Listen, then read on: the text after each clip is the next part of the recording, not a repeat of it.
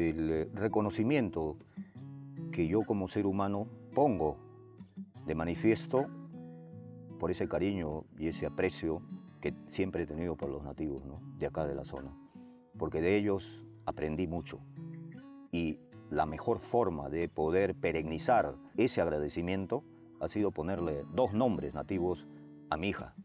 Uno Eseja y otro Harakmut. Eseja, querenda, significa brillo, luminosidad, resplandor.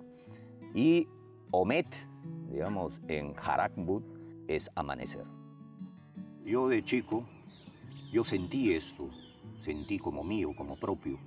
Y que cuando regresé y vi este desastre, simplemente dije, lo voy a recuperar. No sé cómo, no sé cuánto tiempo voy a demorar, pero yo lo voy a recuperar. Y lo he recuperado, ¿no?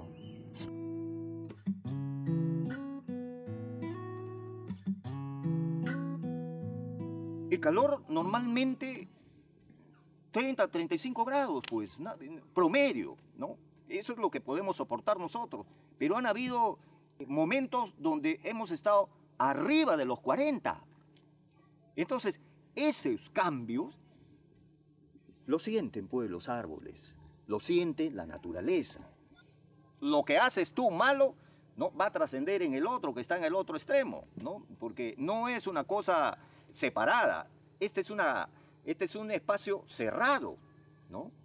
Donde cualquier efecto, cualquier impacto que uno cause en un sector trasciende en el otro, no solamente en el sector donde se ha producido. Uno aquí ha hecho muchos sacrificios desde el punto de vista personal. Ha tratado de impulsar estas actividades porque ha tenido fe en que la naturaleza es sabia bajo todo punto de vista. Simplemente es cuestión de entenderla.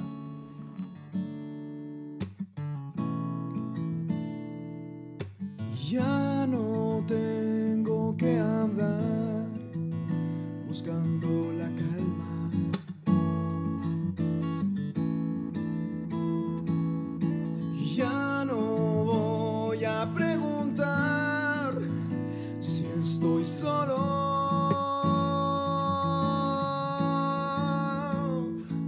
Porque tus manos me llevan al cielo.